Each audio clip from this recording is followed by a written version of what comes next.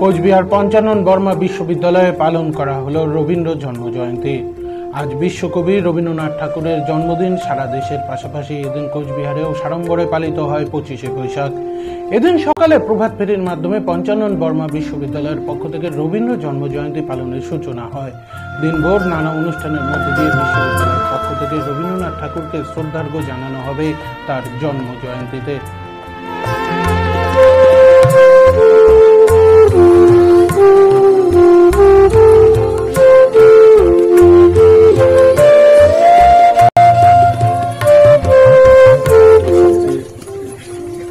কবিগুরু রবীন্দ্রনাথের জন্মদিন, পঁচিশে বৈশাখ। আমরা কুচবিহার পঞ্চানন বর্মা বিশ্ববিদ্যালয় এই দিনটিকে বিভিন্ন অনুষ্ঠানের মধ্যে দিয়ে পালন করতে চলেছি।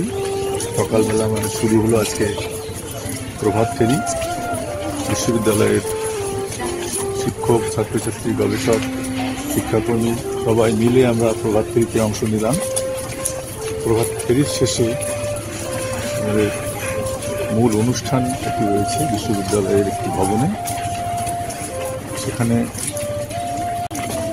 এবছর মাধ্যমিক পরীক্ষায় যে সমস্ত ছাত্রছাত্রী আমাদের জেলায় বিশেষ কৃতিত্বের অধিকারী হয়েছে, তাদের আমরা সম্বর্ধনা জানাব।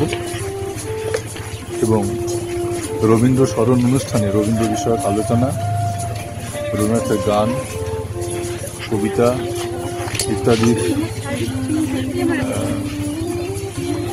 কোলাজে একটি বিশেষ অনুষ্ঠান বিশ্ববিদ্যালয়ের বিভিন্ন বিভাগের ছাত্রছাত্রীরা করবেন। এর মধ্যে দিয়েই আমরা আজকে মূলত গঙ্গা জলে গঙ্গা পূজার মতো করে রবীন্দ্রনাথকে স্মরণ করে রবীন্দ্রনাথের কবিতা গান ইত্যাদি পরিবেশনের মধ্যে দিয়ে আজকের দিনটি আমরা উদযাপন করব। কবি